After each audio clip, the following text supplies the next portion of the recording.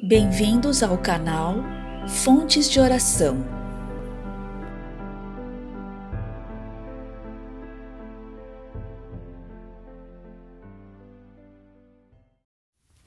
Minuto diário de reflexão e oração. Eu e meus entes amados somos protegidos pela presença e pelo poder de Deus. A terra fluindo com leite e mel na representação bíblica refere-se à abundância e à liberdade espirituais que nos conferem um viver próspero e centrado na verdade.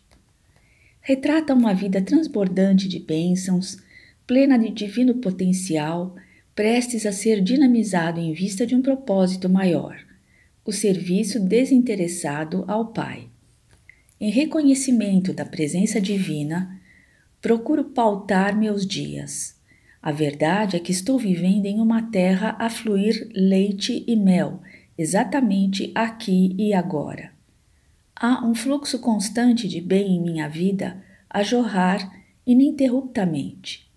A minha prosperidade inclui a asseguração da plenitude, a asseguração da sabedoria e fortaleza que me pertencem pois a Deus e aos seus ensinamentos sigo.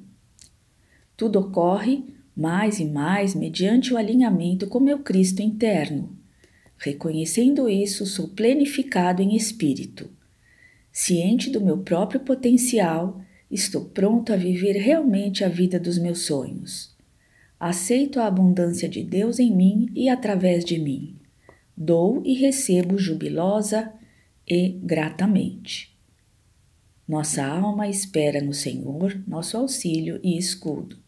Salmos, capítulo 33, versículo 20. Muito obrigada a todos, obrigada, meu Deus, e até o nosso próximo vídeo.